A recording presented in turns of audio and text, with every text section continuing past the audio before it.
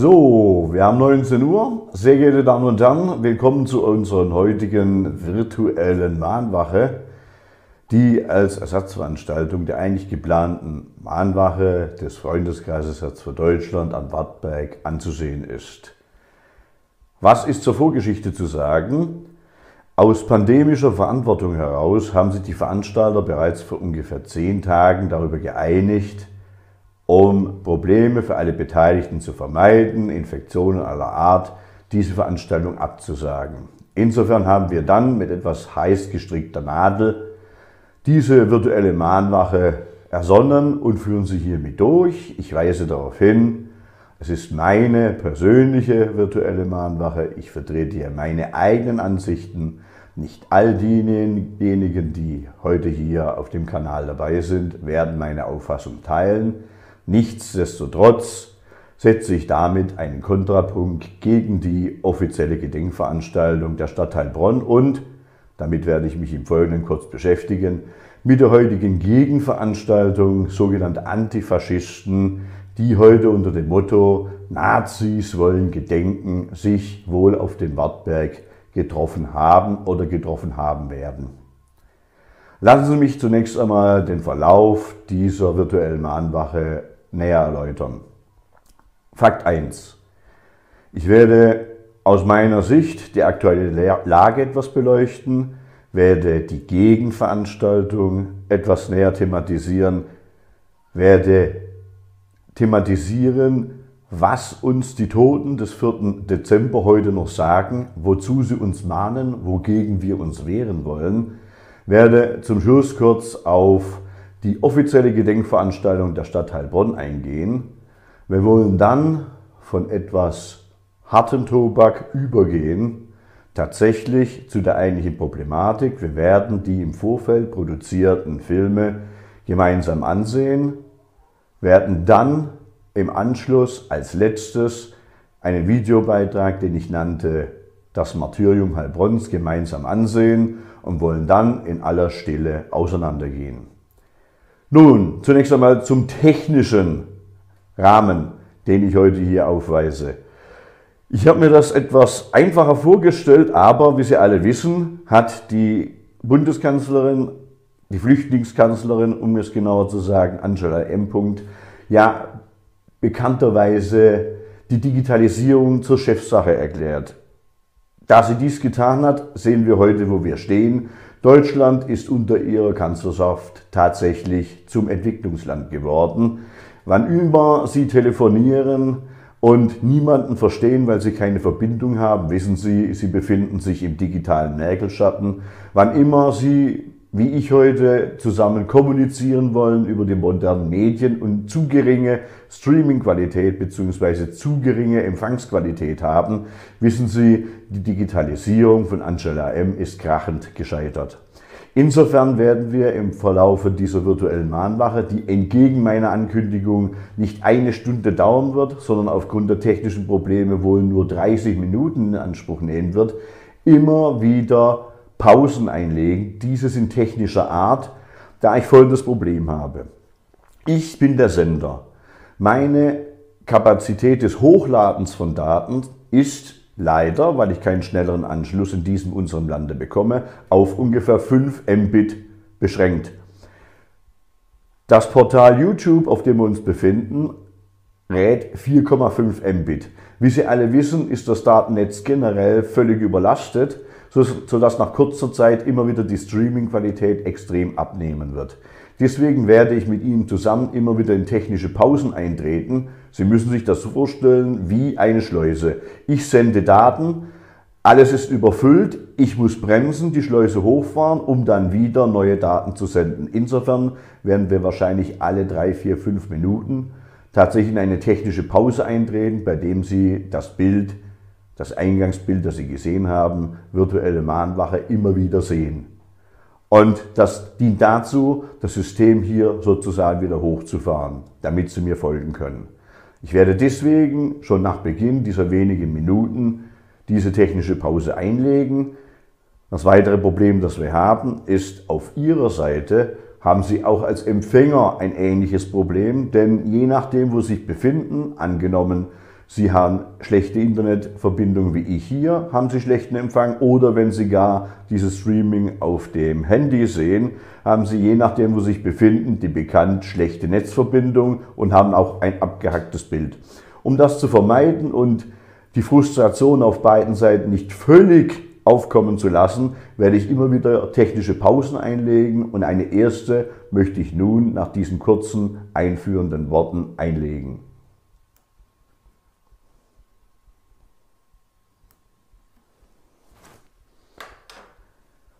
Lassen Sie mich im Folgenden auf die Gegenkundgebung unter dem Titel Nazis wollen Gedenken eingehen, die wohl von angeblich antifaschistischen Kräften auf dem Wartberg durchgeführt wird. Nun, was ist dazu zu sagen? Nazis wollen gedenken.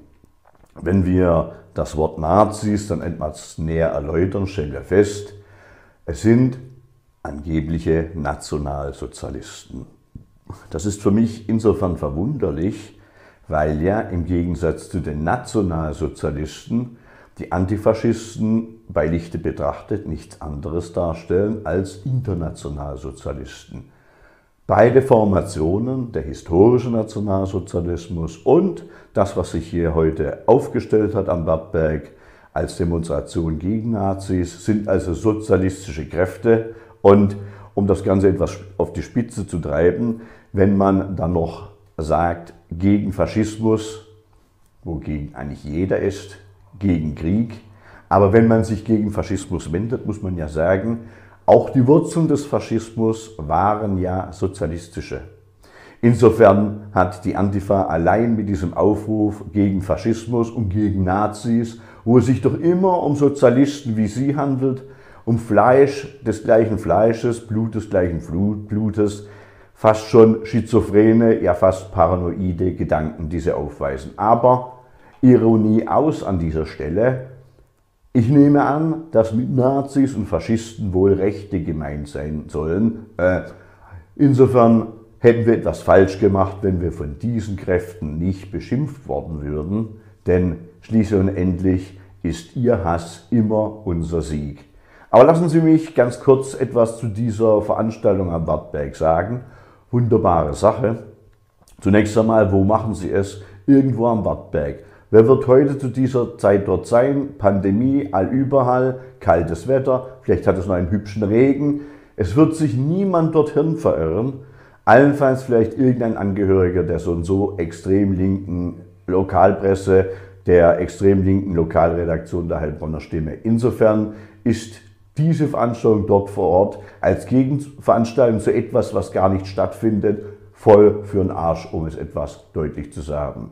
Zum anderen ist es natürlich so, diese Veranstaltung wendet sich gegen etwas, was physisch überhaupt gar nicht vorhanden ist, sondern nur virtuell stattfindet.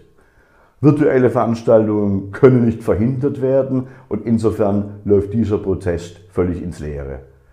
Insofern sollten sich eben diese Kräfte, die mit viel Mühe dort agieren, kritisch hinterfragen, ob das Sinn macht. Und schließlich und endlich als kleines Bonbon zwischendrin, wir bzw. die Veranstalter, der Freundeskreis Herz für Deutschland, hat ja ganz bewusst aus pandemischer Verantwortung heraus diese Demonstration abgesagt. Und wir sind alle fassungslos, dass eben diese antifaschistischen Kräfte so dermaßen verantwortungslos agieren und eine Demonstration in dieser Zeit durchführen, wo Heilbronn ganz kurz vor einer Ausgangssperre steht, wo die Pandemie allüberall zum Greifen ist. Und was tun sie damit? Sie behindern damit die Polizeibeamten, die gehalten sind, uns allüberall zu gängeln uns zu sagen, dass wir allüberall Masken zu tragen hätten, ja, dass selbst Fahrradfahrer in der Fußgängerzone gefälligst eine Maske zu tragen hätten. Damit binden sie Ressourcen, die viel besser geeignet werden und geeignet wären, Staatsbürger und Einwohner der Stadt Heilbronn die ganze Zeit zu gängeln und in ihrer Freiheit einzuschränken. Insofern sollten sich die antifaschistischen Kräfte kräftig hinterfragen. Wir treten nun in eine weitere technische Pause ein.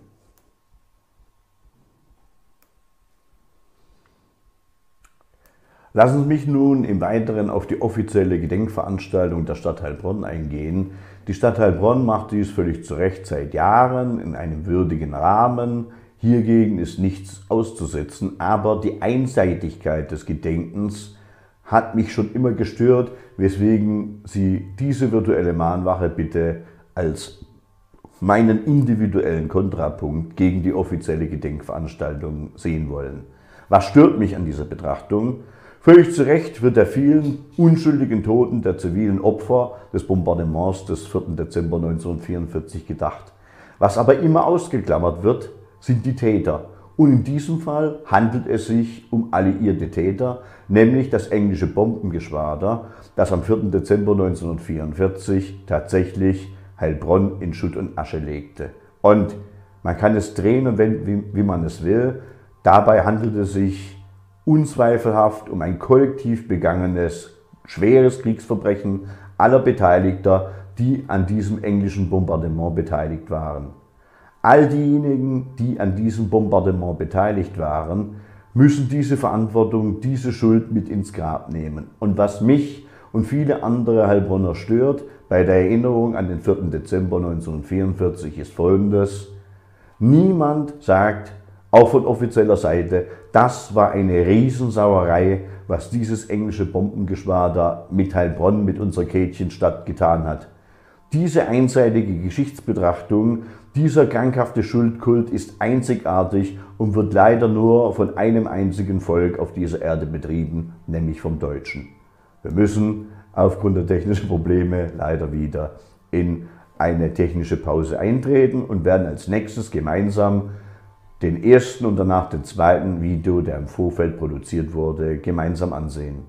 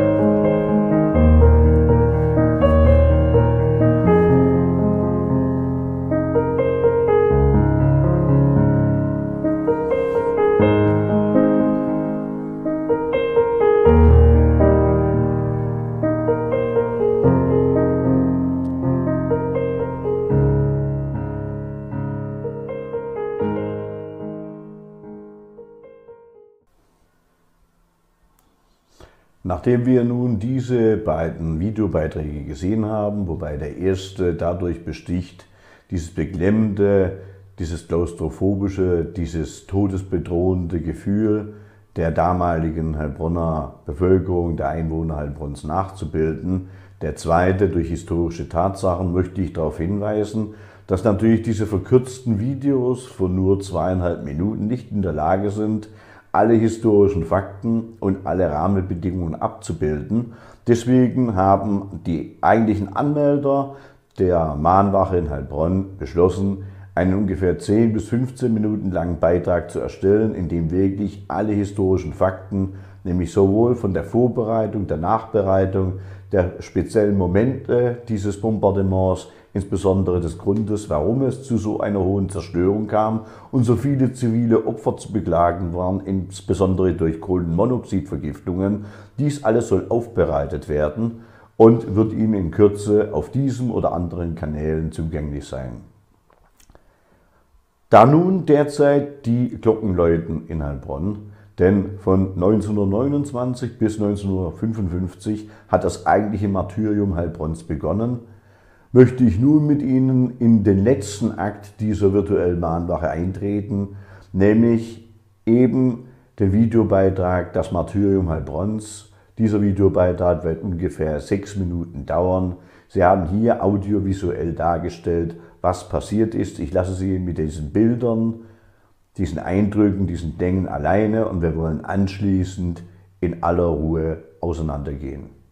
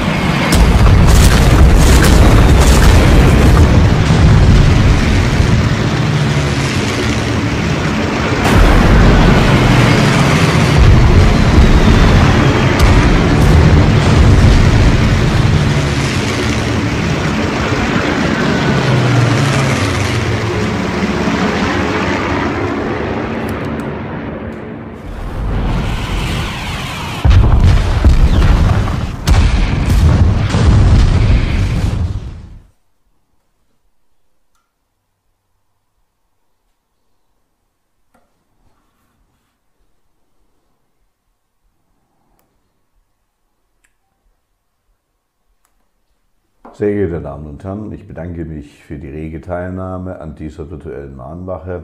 Ich hoffe natürlich, dass wir uns persönlich mit vielen anderen Interessierten am nächsten 4. Dezember 2021 unter angenehmeren Rahmenbedingungen wieder treffen. Ich wünsche Ihnen allen ein gesegnetes Weihnachtsfest, ein gutes neues Jahr. Bleiben Sie gesund und auf ein baldiges Wiedersehen. Wir wollen nun, wie besprochen, in aller Ruhe auseinandergehen.